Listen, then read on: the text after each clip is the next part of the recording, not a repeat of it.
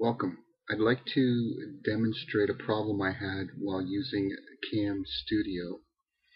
Last week I wanted to create a tutorial and went into my logged into my computer as a guest account to minimize the clutter of the desktop and recorded various activities on the screen using uh, CamStudio. When I was done with the video I was disappointed in the look I wanted high definition, and clearly this was not it. I checked the video options and realized that in going into my guest account, I hadn't changed the video options.